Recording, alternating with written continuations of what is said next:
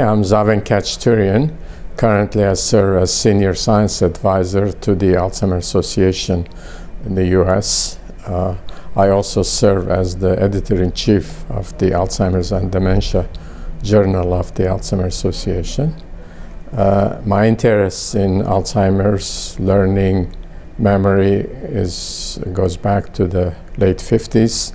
I've been involved in research in many years and in developing programs. Uh, taking a historic look at Alzheimer's, we, a, we are at a very important, remarkable historic point. Uh, 30 years ago, very little was known about Alzheimer's disease. There were no societies, there were no family groups. There were only a handful of worldwide scientists that knew anything about it. You couldn't diagnose.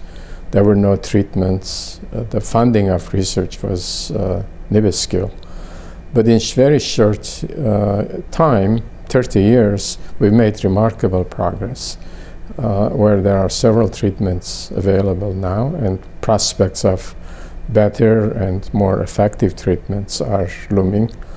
We had a very successful culmination in awareness with the uh, organization and execution of the G8 summit, which was held uh, in December uh, in London, which brought the problem to the worldwide attention.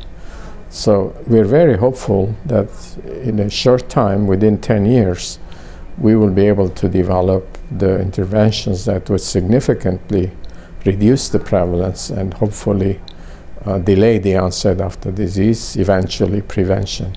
So it's a very um, uh, remarkable story if one were to look at the history of Alzheimer's, the history of the family support groups, starting from ground zero to bring it to this point is just a, a miracle almost, uh, and very hopeful for the future of what, what's to come yet.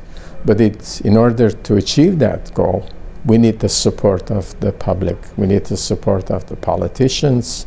We need the support of donors. We need the support of scientists because this is an equal opportunity problem. It affects everyone, doesn't recognize any borders, doesn't recognize any political uh, preferences, it's gender uh, neutral, uh, race neutral, culture neutral, affects everyone. So uh, we need to take action the Organization for Economic Cooperation and Development has launched a major initiative, and Canada has become a leader in that effort. In there will be Canada will be leading, organizing, and leading what's called a legacy meeting to follow up the G8 summit with some action plans of what needs to be done, what kind of public policies needs to be created, what needs to be done in a concerted way.